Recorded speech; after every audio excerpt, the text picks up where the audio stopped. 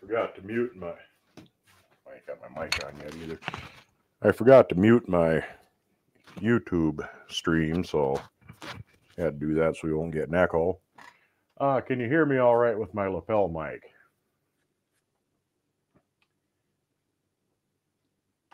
I can just barely see the comments, but someone lets me know if they can hear me, all will be well and we'll get underway. And I gotta wait for the delay on it to start popping up here anyway. Alrighty. One of my members, Lori Goffard, was having trouble making scallops the other day. They were sticking to her cast iron pan. She couldn't figure out why. Well, neither could I really.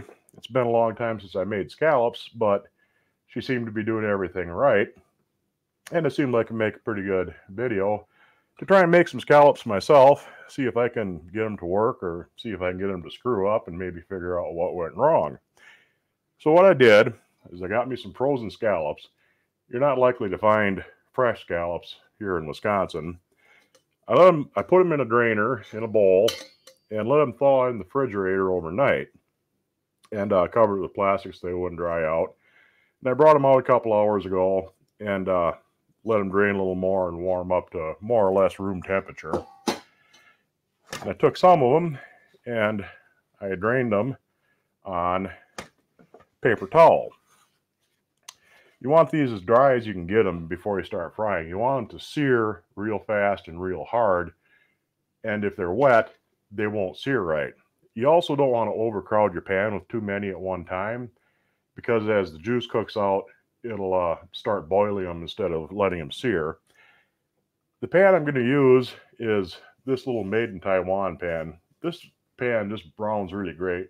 You can tell by the buildup on it. I use it quite a bit. It's one of my favorite pans actually. And it's a little made in Taiwan jobby that I got at a thrift sale for 50 cents, maybe 25. So, you know, don't uh, turn your nose up at something just because it's made in Taiwan automatically. I'm going to turn this on fairly high, kind of a medium high temperature. This is going to warm up a little bit.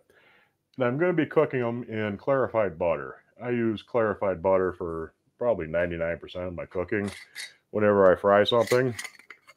And uh, while this is warming up, let's see if I can see any of the uh, comments. Yeah, you can hear me loud and clear. All right. I just, I did turn the right. No, I didn't. I turned the wrong damn burner on. There we go. Thought I was getting a little warm over here. Anyway, while I'm waiting for this to get warmed up, I'm going to have a membership drive. I want to get to 20 members. I got 12 right now.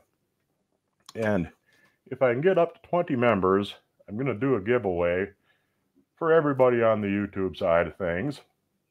And uh, I will, once we get there, I'll make a video. And I'm going to give away two, not just one, two different items.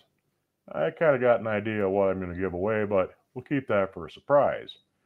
So tell your friends, tell your family, get them to sign up, and you will have a chance to win a fabulous, fabulous prize.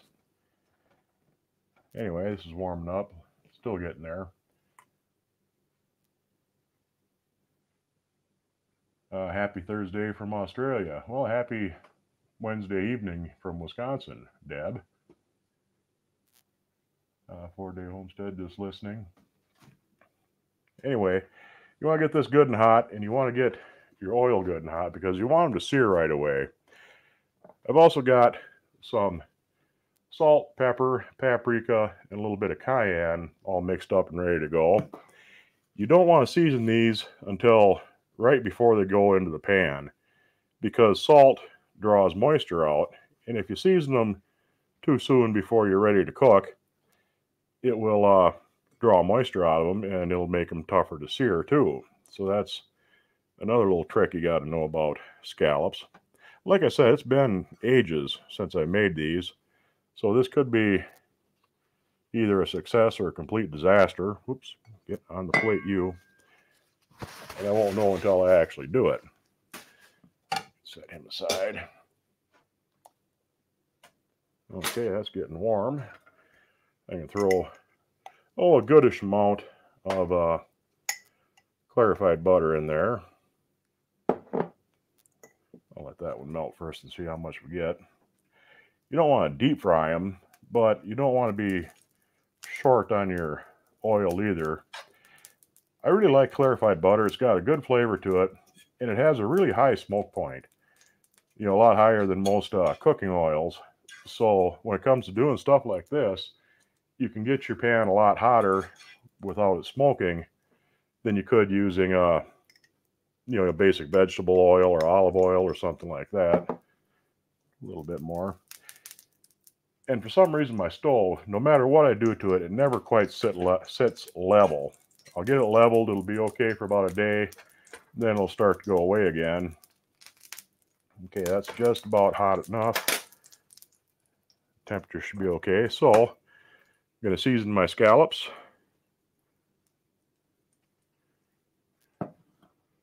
Give them a little sprinkle.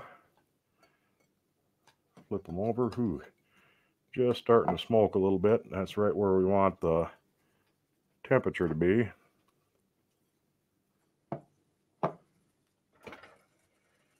Make sure the oil is all around and covering good. And in the pan will go. Scallops are notorious for sticking. If you ever watch Kitchen Night or uh, Hell's Kitchen on TV, even the more or less professional cooks on there have a hell of a time sometimes with scallops. But any protein, whether it's meat, poultry, eggs, or seafood, will always stick to cast iron when you first put it in until it starts to sear. And once it's seared, see this guy, well, once it's seared, it should release right away. And these guys are not stuck at all, but I don't think we're quite seared. Well, searing a little bit. Just swirl that around, make sure we got oil everywhere. They don't take very long. Should only take about 30, 35 seconds to a side. See if that isn't seared down good. I'm going to press them a little bit just to make sure they're whoop, fried down good. That was got a nice sear on it. Yeah, I think I start flipping them. You bet. Then we're looking nice.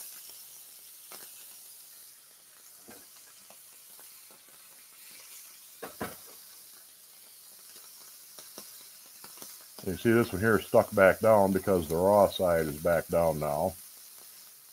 But that should let go as soon as that sears off. Got my plate here.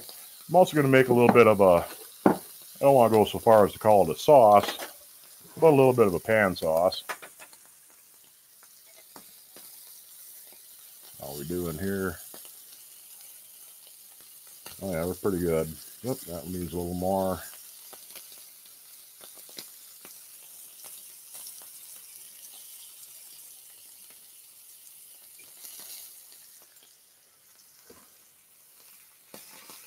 Got some nice crustiness going for them. And I'd say these guys are done. Took so long, didn't even quite get the handle of the pan hot. But I will take these guys off.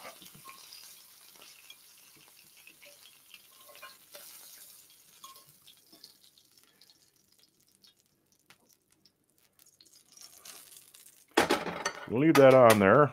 We take a little bit of minced garlic. About that much. A little pat of cold butter. That'll cool things down so my garlic doesn't burn.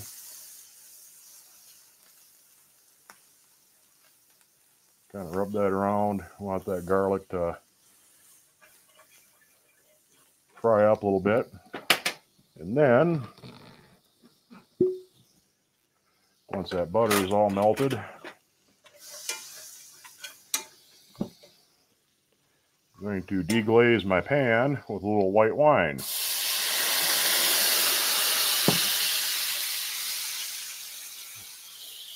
scrape it around a bit to get all the little bits and pieces and fried on bits off.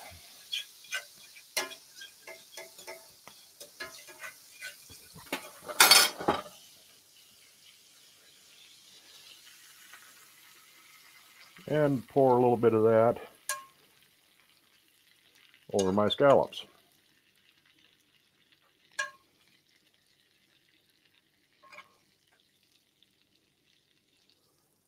There. And that's all there is to that. Not the most beautifulest presentation, but turn the stove off. We'll see how they taste. They seared up nice on the sides.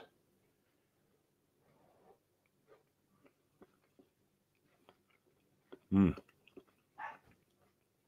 Yeah, them are real good. So, uh, what problem Lori had with hers, I really don't know.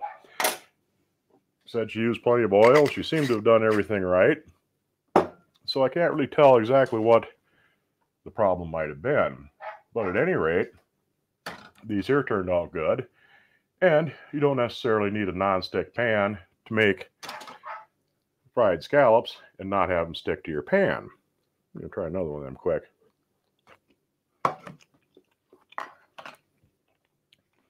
Yeah, them are just tasty. Seared up good. They didn't cook too much and get all rubbery on me. I'm going to let my dog in. I'm going to move my camera back around. Well, actually, I have to move my camera first. Get all this stuff organized. And then I'll be able to have a look see at what all you folks were saying. I'm going to mute my mic for a second here while I let the barking little critter in.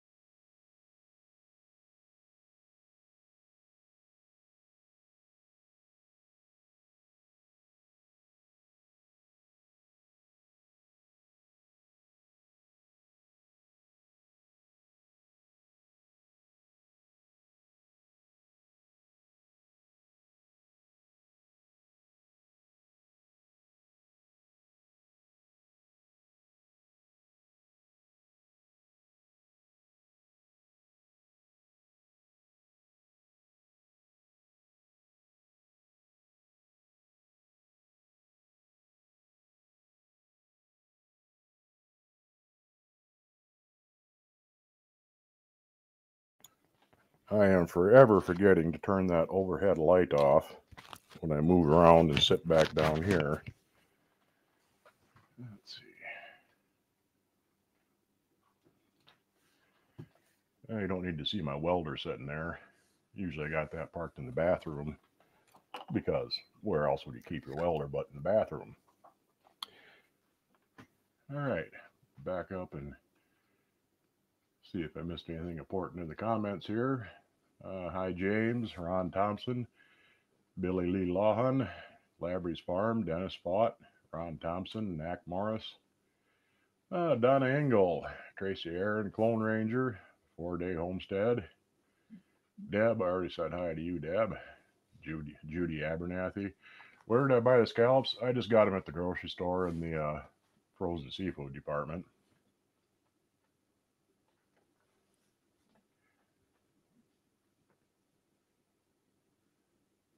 Yeah, those would be good over noodles.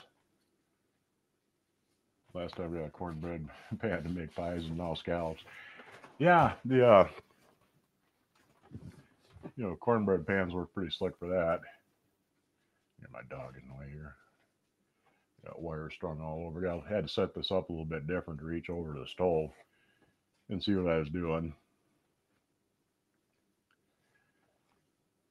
Uh, six inch pans that work just fine, no stick at all. Yeah, usually, you know, if it's well seasoned, you use the pan for a while and it's all broke in good, you usually don't have much trouble with things sticking, even uh, scallops like that. You know, and I was really, really kind of wondering why, you know, she was having such a problem with them sticking. maybe too cold, maybe not quite hot enough, but she said she had it screaming hot, and uh, you know, it just it doesn't make much sense.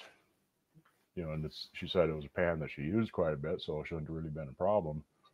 You know, the only thing that I could really think of is they just might have been a little bit too wet. Was all I could, all I could really come up with.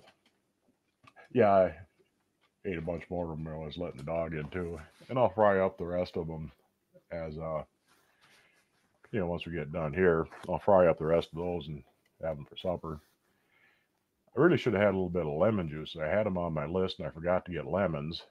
And when I was setting this up, once I went to make the sauce, I realized I didn't even get the uh, bottle of lemon juice out of the free out of the fridge. So, but a little bit of lemon would have been really ideal in that.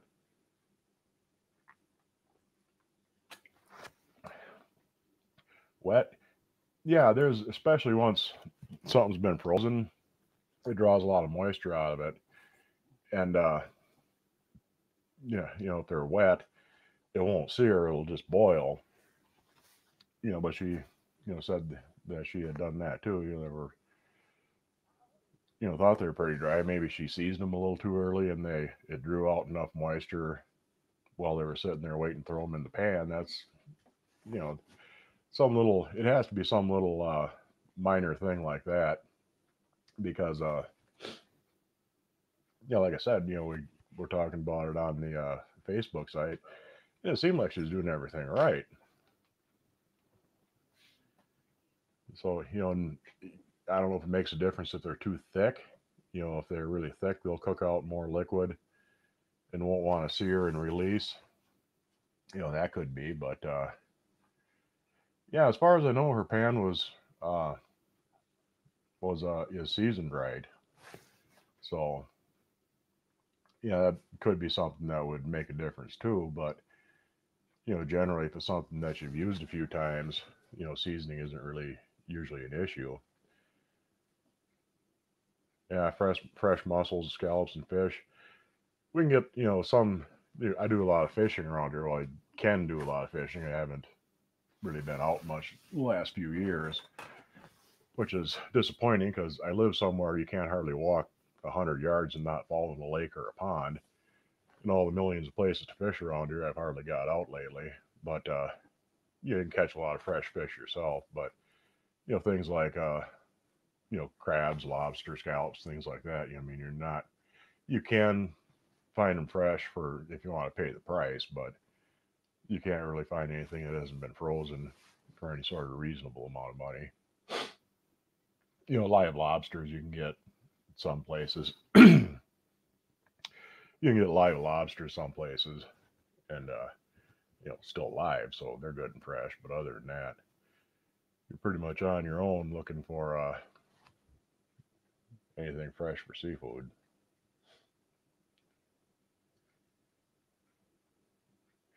Yeah, lake fish aren't always the best. You can, uh, you know, sometimes you got mercury you know different lakes from uh, pollution from mercury from uh, usually it's from coal-fired power plants. It's kind of like acid rain but there's you know mercury in the uh, air and it settles out in the lakes and streams. And if there's industrial pollution in the area you gotta keep an eye out for that sort of thing too. But you know these are all mostly small glacial lakes around here so there's not really much for uh, industrial pollution beyond anything that can settle out of the air.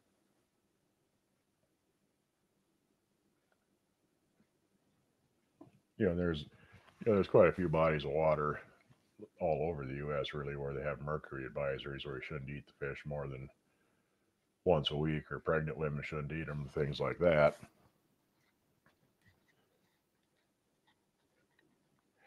Uh, it depends on the fish and the temperature of the water. You know, like uh, you know, carp. If you catch them early in the spring when the water's cold, they're pretty good. Oh, the video's buffering. Yeah, YouTube has been screwy the last couple three days. You know, people have been having a hell of a problem with uh with uh things. You know, buffers. I've had the same problem watching other people's streams it'll start buffering every 10 15 seconds you might have to refresh the page and uh, you know just come back and hit play again, and it should pick up right where we are now.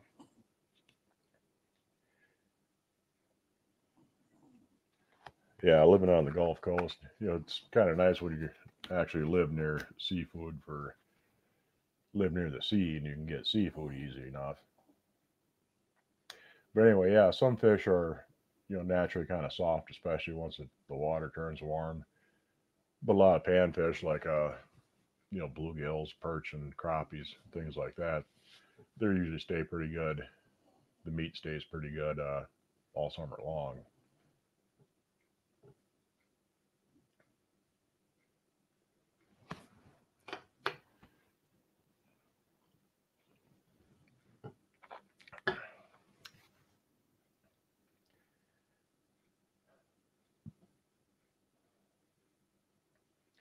Yeah, I've never made soft shell crabs because uh, I'm nowhere near anywhere you can get soft shell crabs. Can catch crayfish though if you want, crayfish or crawdads, whatever you want to call them. They're fairly common around here. Yeah, clone. I don't think it's really the video settings. It's it's a problem on YouTube's end. I mean, they've been having it pretty much system wide. You know, everybody everybody uh, watching streams or doing streams has been having the same problem. Wants to keep buffering every few seconds sometimes. Like I said, usually if you refresh and uh, come back in, it'll take off and go for you. I've been quitting smoking using these little nicotine packs for the last couple, three days. They work out pretty good. At least get the nicotine fix going. Hi, Mary. Over there in Michigan, are you?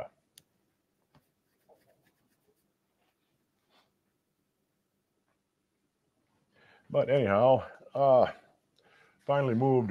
You may have noticed that my lye bath isn't sitting there anymore. Finally got that out on the porch. Well, emptied out and took the uh, tote out on the porch. I got to mix up a new one. And uh, getting closer, getting caught up on some of the other things. I'm gonna have to put a new oil pump in my truck. I mentioned that last week.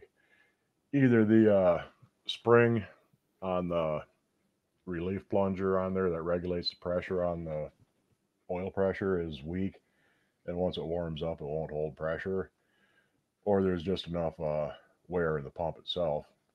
You know, but either way, it doesn't really matter. It means I got to put a new pump in regardless. Oh, quitting smoking ain't so bad. I've done a dozen times at least, so maybe one of these times it'll actually take. But yeah, it's not a fun uh, addiction to try and break.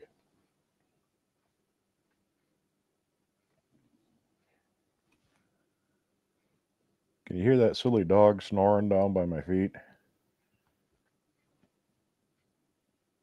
Anyway.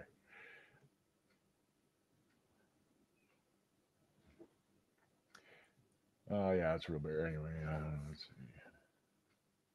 All caught up on that. Uh, what else I got going on? Like I said, I was to mix up the new, uh, mix up the new lye bath. I'm trying to find decent electrodes for my uh, new electrolysis tank. I want to build a bigger one.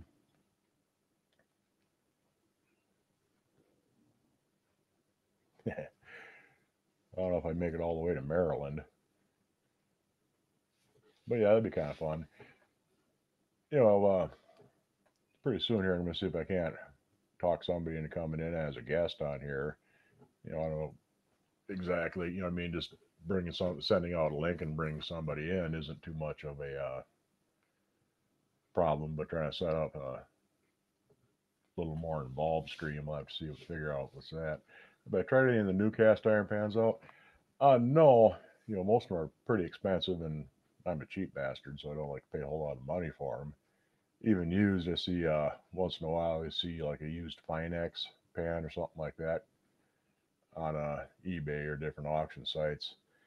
But they usually go for better than 100 bucks a piece, which isn't too bad. They're usually like 150, 175 new for uh, Finex, I think. But I haven't seen any uh, any like Field Company or Butter Patch or any of those of the other ones coming up on uh, for sale used yet. But I'm sure when they do, because most of them are like 150 to 200 dollars brand new. You know, I mean, they'll still sell for probably 125 to 150 a piece. Will you show how to build a new electrolysis tank? Yeah, I'll have to do it on the video. You know, I won't be able to live stream it because I can't get set up outside. But uh, you know, I'll make some videos about doing that. And I got a cooking video that I'm going to film later on this week, either tomorrow or Friday. Should have that up by this weekend. And uh, once I find some decent electrodes, been looking around, and uh, I was just going to take some uh, cookie sheets and use those on the sides and one for kind of a divider for the uh, electrodes in the tank. But all the ones I can find in secondhand stores are either aluminum coated or they got, uh, well, most of them are aluminized or they got some kind of a, you know, non-stick coating on them. I could throw them in a fire and burn them off if I wanted to, but you know, it's more hassle. I feel like hassling with. Gonna see what I got around here for uh see what I got around here for uh for a scrap iron that I can use. That would work out all right.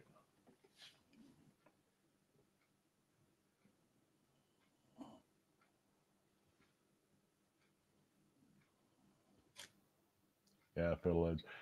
I'm, we're a little bit past the fiddlehead ferns around here. You know, I mean, the ferns are up. You know, they're a foot tall already. You know, they're all opened out, so they're not, you know, not at the eating stage anymore.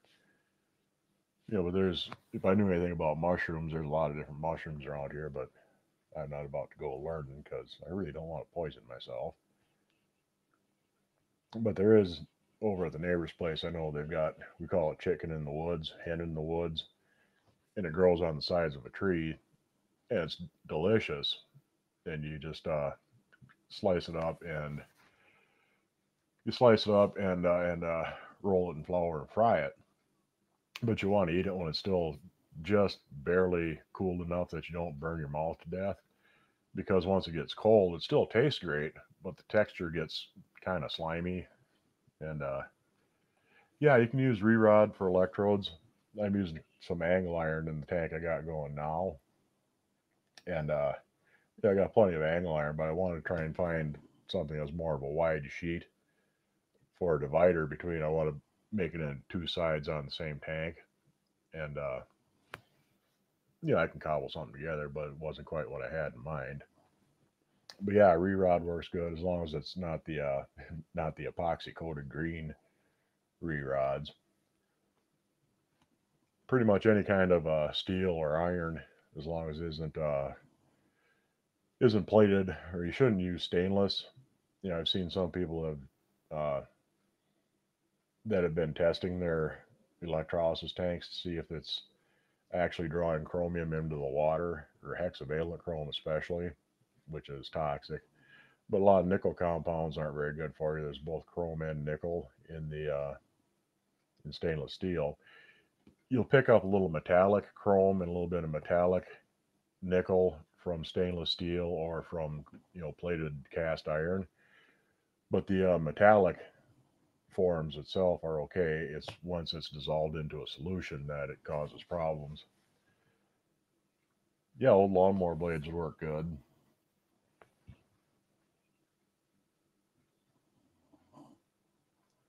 Yeah in the fall i get some great big kind of toadstool type mushrooms out in the yard.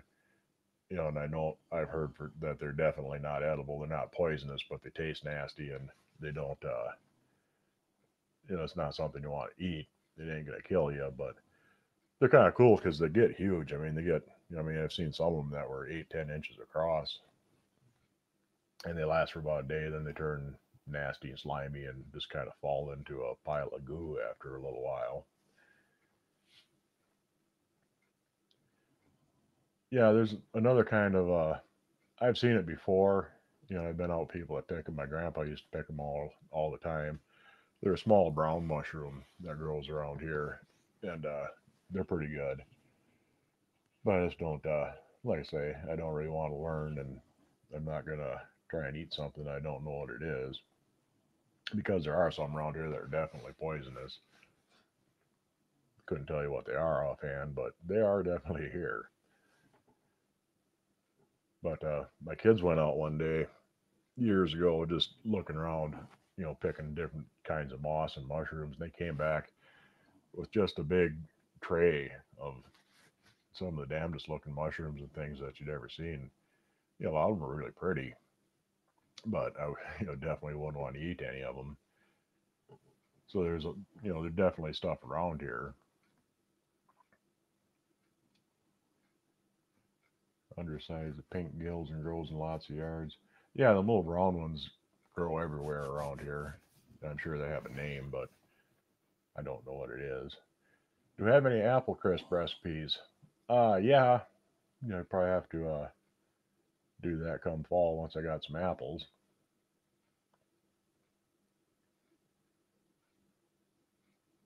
Because uh, I finally got the cider press. I'd wanted one for years and years and years. And uh, I had a bunch of apple trees. And I got to use it one year. I made, geez, I pressed out probably about 25 bushels of apples, you know, got maybe 20, 25 gallons of cider out of it. And that winter was a real bad winter, and half my apple trees winter killed. So, but I still got a couple that are producing pretty good. I got a, it's called a Northern Lights. It's a cross between a Haralson and a McIntosh. And uh, that took quite a beating in that winter, but it uh, it's come back pretty good and it's bearing again. And I still got my beacon tree, and uh, I got a couple of wild apples that were just volunteers, you know, grew on their own. One's a little small; it's bigger than a crab apple, you know, but it's a small apple. I mean, it's only about that big around, and it's a little tart, but it's got a real good flavor to it. And I'm sure that's just a wild one. Then there's another one growing up on the hill, and uh, I'm pretty sure that's a uh, Haralson because we had a Haralson tree. And planting apple seeds is kind of a crapshoot. A lot of times the seeds will grow whatever the original root stock of the tree is, and most of the apple trees you buy are grafted. They'll use a wild apple root stock because it's real hardy, and they'll graft on whatever breed of tree that you're uh, you know you're trying to propagate. But there's a lot of them too that are own root, where they'll, where they'll take a, a cutting from it and let the cutting take root and go from there. So those will throw more or less true to whatever type of tree it is. But if you, you know, like the uh, red delicious apples you get in the store, if you plant the seeds from them and if they sprout, you're never going to get a red delicious apple out of it and a lot of times it'll depend too on what they uh, pollinated with. If there's different different breeds of apple in the same orchard. You can get some odd cross breeds, and you know you never if you try and grow apple from seed, you never know what you're going to get. And uh, you know that one that grew up on the hill just so happened to be. It might not be an actual Haralson, but it's pretty similar. I'm pretty sure that it is. You know, I get a fairly good bunch of apples off that too you know, but I went from getting, you know, 25, 30 bushels of apples off my trees a year down to, you know, maybe five, maybe eight at the most. And uh, one of them, the beacon, is an every other year tree. Some breeds of apples only really produce heavy every other year. You'll get a few every year, but, you know, one year you get maybe 50 apples on a big tree, and the next year you'll get bushels and bushels off of it. And that's just the way they the way they go. But yeah, once I get some apples, I'll probably make some apple crisp.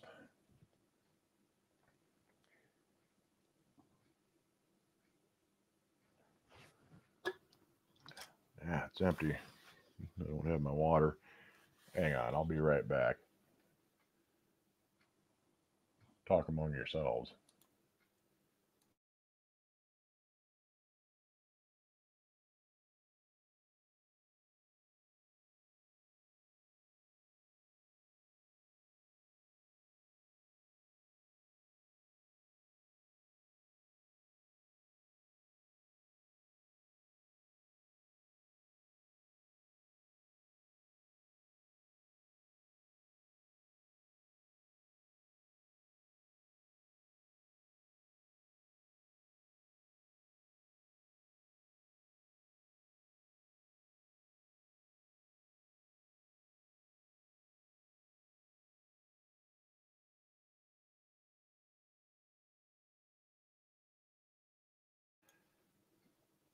I know I've been threatening you with it for a while, but uh, I'm finally going to get. Should have grabbed that when I was up. Uh, finally going to get on with uh, doing some welding on cast iron too. You know, welding and brazing. I got all the stuff that I need, and uh, getting caught up on enough things that I can hopefully get enough time to uh, set up and do it. You know, I'm gonna grab that. I've got a uh, waffle iron, you know, nice Griswold waffle iron that I want to fix. Hmm, let's see, go running into my stuff here, and it's got a broken knob on it. Oh yeah, knock more stuff over. Get that back up. It's a uh,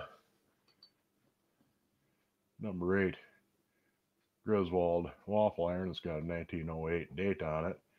This side is just fine and dandy, but this one has the little knob broke off. And that's going to be going to be a challenge to fix that because where it actually is broken is very, very thin where you'd have to try and weld that. But I've got uh, high nickel wire for my wire feed welder, and I should be able to weld it up with that after I, that'll be one of the last ones I do once I get, uh, get a little more practiced into it. Because uh yeah i've been doing a little bit more welding. I used to do lots and lots of welding and i was pretty good at it but it's the sort of thing that you got to stay in practice with you kind of lose your touch at it after a while if you're not uh doing it a whole lot so I had some welding to do on my loader on my tractor this spring and they're good solid welds but they ain't pretty and like i say it's you know welding cast is is a bit tricky.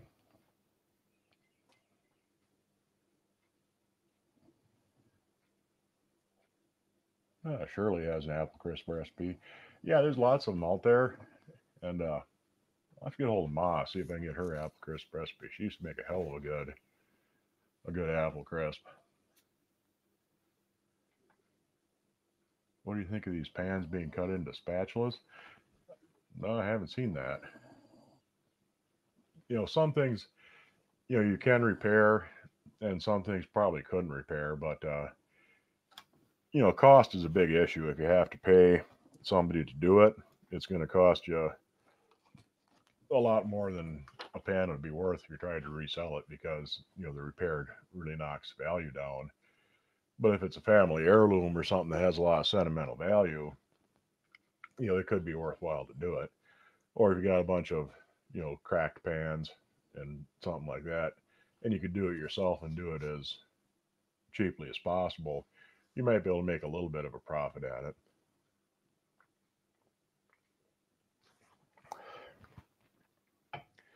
Uh, cast iron restore. Do you have any uh, videos on that?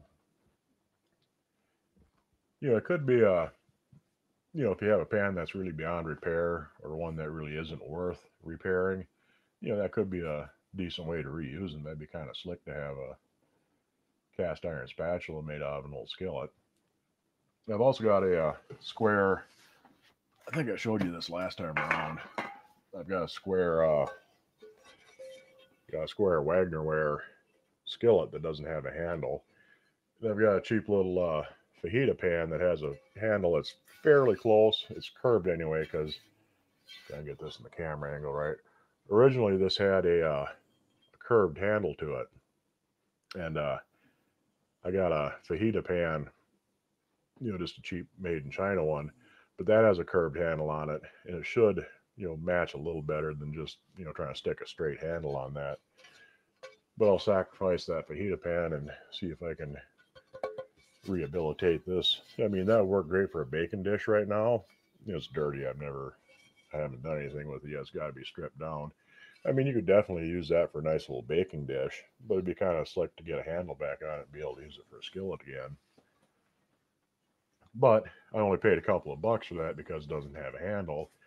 And on something like that, you know, with a decent job of repairing a handle, you could probably turn around and sell it for 15, 20 bucks. But, uh, you know, the welding rod and the supplies are fairly expensive for welding cast iron. But you could probably make, you know, five, ten dollars on the deal if you wanted to uh, do something like that.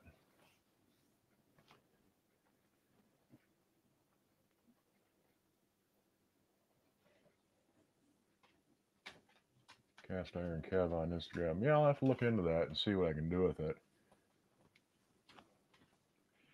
Yeah, I mean, like a minor crack in the sidewall, a lot of times you can still use the pan, even if it is cracked. You know, there's a bit of a risk that the crack will spread and uh, it'll break more. But usually, you know, minor hairlines in the side aren't too big of a deal. But if you got something where it's cracked all the way across the bottom, that would be real tough to fix. And uh, don't go getting tangled in my wires, you little dog. Hi, Katie. You know, but uh, welding cast iron, you have to use, you can't just use regular mild steel welding rod on it. You have to use a, uh, they call it nickel 55. It's 55% nickel and the rest of the rod is iron because uh, mild steel, when the weld freezes, you know, seems kind of weird thinking about something that hot freezing, but that's what it does. When it solidifies, the uh, mild steel contracts a lot more than cast iron can because cast iron has no ductility to it. You can't stretch it. And as the metal cools, it tries to shrink and stretch around it and instead of welding up the crack, you end up making a crack on either side of the weld that you just made. But the uh, nickel iron rod doesn't shrink like that.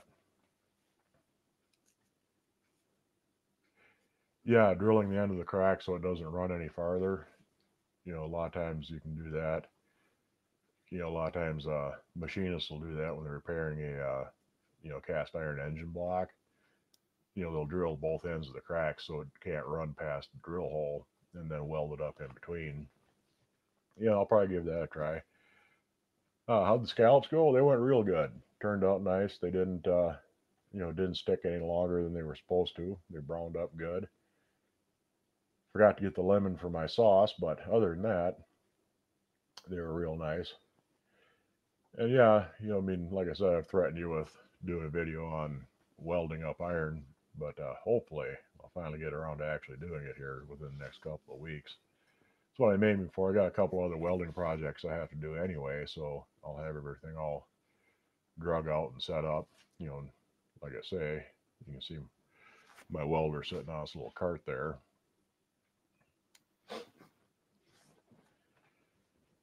Yeah, Katie, I'm not sure what uh, what problem Lori was having, why they were sticking. You know, mine didn't. They released just, just like they should have. So uh, keep grabbing an empty can. You know, they released just like they should have, you know, and like I say, I can't really figure out why why she was having such a hard time with her sticking down like that.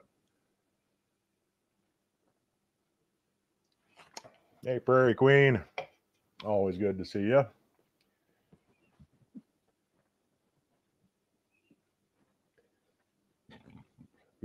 Fizzy. Got me burping. I really like that bold ginger ale. You know, it's not quite as strong as good ginger beer is, but you know, it's pretty good. It's got a little more ginger. I love ginger. You know, I mean, I love spicy things. Not necessarily terribly hot, but something that's got a lot of a lot of spice to it. Yeah, it should be fun. I'm gonna do a, you know, do on brazing, MIG welding, and and uh, stick welding on cast iron, and I got I got a couple of pans I can work fix up, you know, just to uh, see how it goes. And I got a couple of old bits of iron that I can weld, and I got to fix a piece of that stove. Yeah, that would be one. Uh, prairie, that would be one of the things that make them stick. You know, if you didn't have your pan hot enough.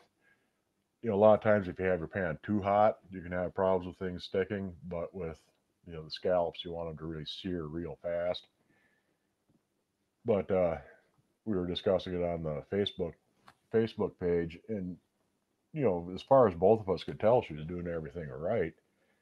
And, uh, you know, there's really no reason why it was sticking, but she, they were. And they just would not let go.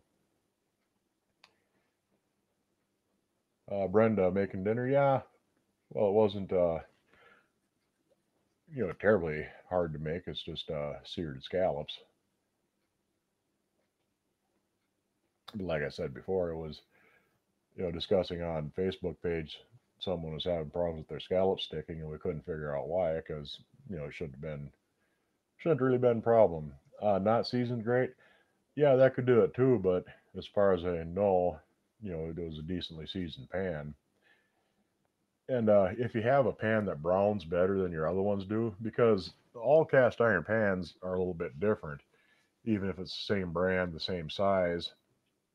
You know, sometimes you'll have a pan that works better in the oven and uh, really bakes things good. And sometimes you'll have one that works better on the stove top. It really browns nice.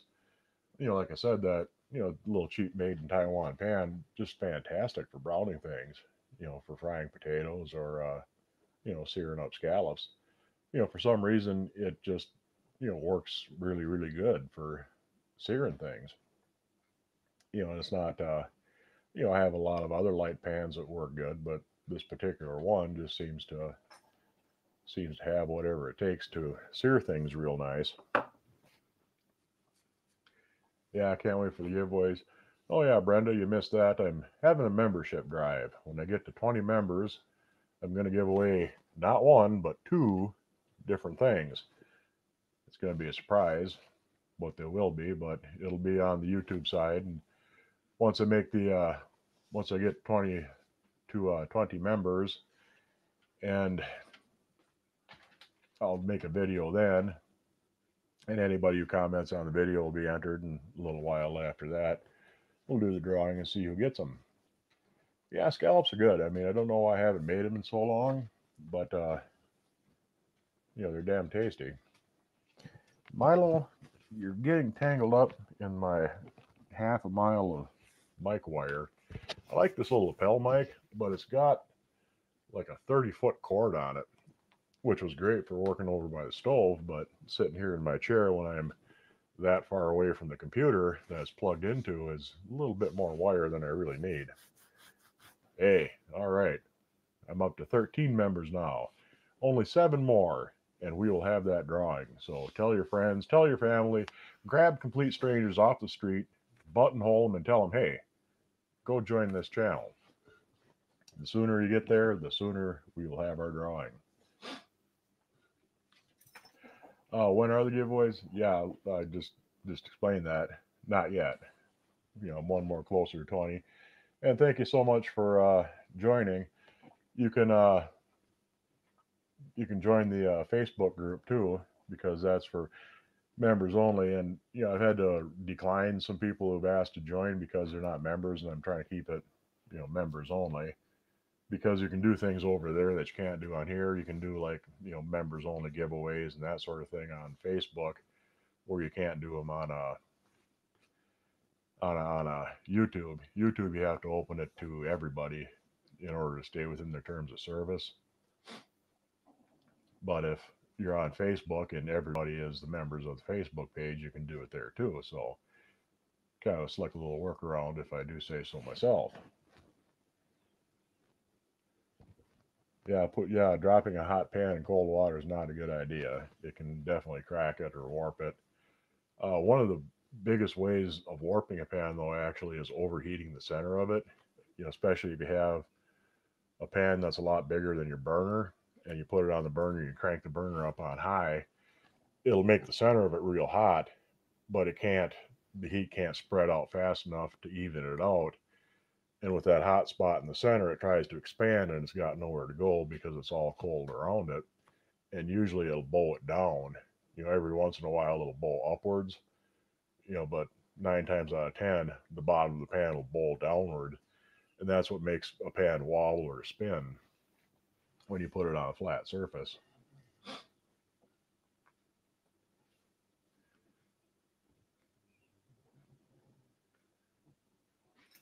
and uh, you know a lot of the really old uh,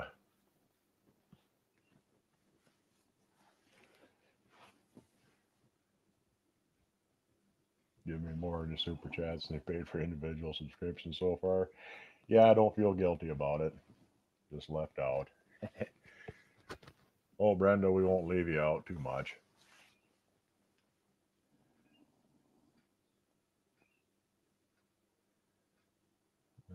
Oh, you can't do memberships. Well, that's okay too. It's always nice having you around regardless, and you're usually around, and it's always good to see you.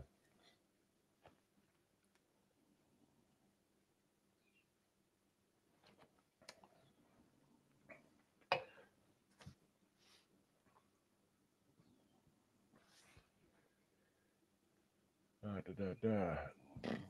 Ah. Try not to belch on air. It's not polite. Not that I'm terribly polite, but I just don't like to see that sort of thing on other people's channels, so I try to avoid it myself. Hey, we're coming up on 52 minutes. Yeah, and we'll shut her down in about an hour or so. But yeah, Brenda, you know, don't feel left out. We'll always try and include you whenever you're around.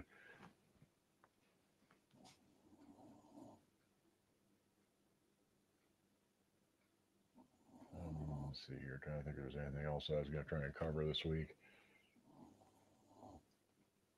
Yeah, like I said, I got got one more cooking video. It's a traditional Wisconsin recipe, but uh, for some reason people seem seem to associate it more with Minnesota, even though they stole it from us in the first place.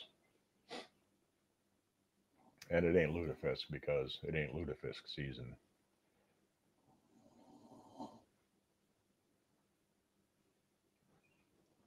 One of these days, if I can find a decent source of uh, of dried cod that ain't terribly expensive, I have to make my own lutefisk. My great grandmother used to, and uh, smelled like codfish and death when you're making it, but it's uh, pretty good otherwise. A lot of people are terrified by the smell of it, and it does smell fairly strong, but the taste is pretty mild as long as you don't, uh, you know, don't boil it half to death to where it falls apart. You're okay. But nowadays, there's probably more people in Wisconsin, Minnesota, and up into the Dakotas that eat lutefisk than actually still eat it back in uh, Norway and Sweden, where it came from in the first place. You know, it's got to be got to be more of a tradition around here, just sort of a remembering your culture. And we just passed uh, Syttende Mai, which is the 17th of May. It's Norwegian Constitution Day when the uh, Norwegians became independence independent from Sweden and Denmark became their own nation in I forget the year 1816 I think it was.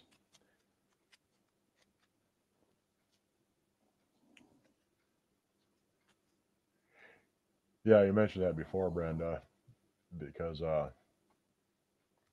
you know, you're gone for six months at a time working on the road. You used to do quite a bit of that sort of thing too. But if you're off because you're crippled, I haven't gone back to work yet. I haven't really been pushing it all that hard because I got so much to do around here. But work has been kind of slow this spring anyway. There's a lot of projects on the books, but nobody's uh, really pulling the trigger yet on most of them getting actually started on it. But it'll be pretty steady once things finally do start firing up again you know, there's quite a few little jobs going on all over the place. But like I said, you know, I haven't really been been pushing it all that hard to get back to work, but I'm going to have to pretty soon regardless. Ingebretsen sell lutefisk and other food via mail order. Yeah, you know, all the uh, all the grocery stores around here carry it in the fall and in the winter because that's you know pretty much the traditional season for eating lutefisk, or you can go down to the Lutheran church wherever you are, and they usually got a lutefisk dinner at some point in October, November, December. And uh, you know, the problem is freezing lutefisk doesn't do the texture any any favors. You know, if you can make it fresh, you can uh, usually make it a lot better than you can after it's been frozen. But it's hard to stuff to uh, kind of hard to find it that hasn't been frozen. There's still a few places, you know, if you really want to look around for it yeah, Wisconsin expat. Yeah, you know, there's a lot of odd things that we eat around here that you don't find a whole lot of other places.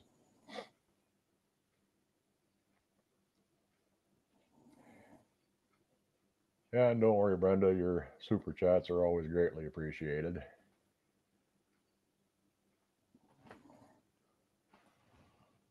Snoring again, you silly mutt. Jesus. You know, Wisconsin's a lot more than just cheese and brats, although, you know, cheese and brats are pretty much something you can live off of anyway. Anyway, it's been a little under an hour now, and I think I'll wrap her up here. If there's any other, any last questions, go ahead and ask them. Yeah, maybe the only lutefisk you ever liked. Yeah, a lot of people tell you the best recipe for lutefisk is uh, you take five pounds of lutefisk and then you get rid of it. Yeah, I miss being on the road. Yeah, it was always kind of fun, you know, getting out there and wandering about out on the road. Done a fair bit of work, road work, not a whole lot, but done some. You know, did a lot of work away from home where you're out and about and gone for a couple of months at a time, or just back on the weekends. Hey, Grampy, you made her. They make that, yeah, lutefisk. There's uh, there's Olsen's. They're a big maker of lutefisk and uh, pickled herring. They're out of Minneapolis.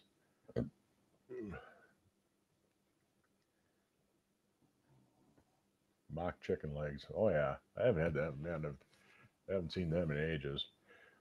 Yeah, well, like you'll like my next uh, recipe. It's a classic dish from this part of the country. Like I said, the Minnesotans stole it from us, so don't believe all the hype hear on the internet that it's a Minnesota thing.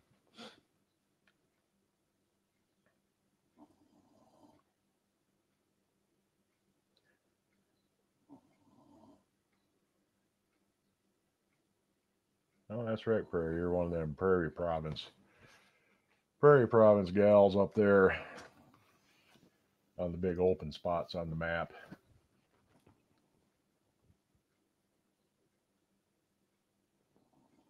Anyway, I'll give her a few more seconds and let the because there's about a 10 second delay between this and uh, between this and YouTube.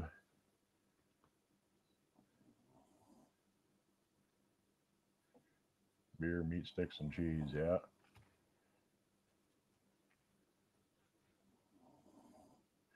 Anyhow, uh, I'll see you all next week, and uh, hopefully you'll have a great week. And like I said, encourage everybody you can find to go ahead and uh, get the membership drive going so that we can yeah pheasant under glass on the wood stove. Might have to chase me down a pheasant. See few of them running around here every once in a while. Anyway, like I was saying, once we get 20 members, we're going to have the big uh, big drawing for a couple of things. And hopefully you'll enjoy the rest of the week until I see you again. Bye.